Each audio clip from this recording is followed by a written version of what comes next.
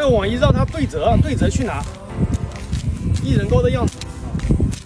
膝盖位置拿点网一起来，开弓门放在左手上面，把这网一托直之后，一把抓，拉丝网一全部抓在手里面，左手把多余的网一捡起来啊，左手把多余的网一捡起来，铁链夹在这个虎口里面，这边摊平之后就能打了，翻过来摊平之后就能打了。不管你是飞盘还是传统啊，随随便便，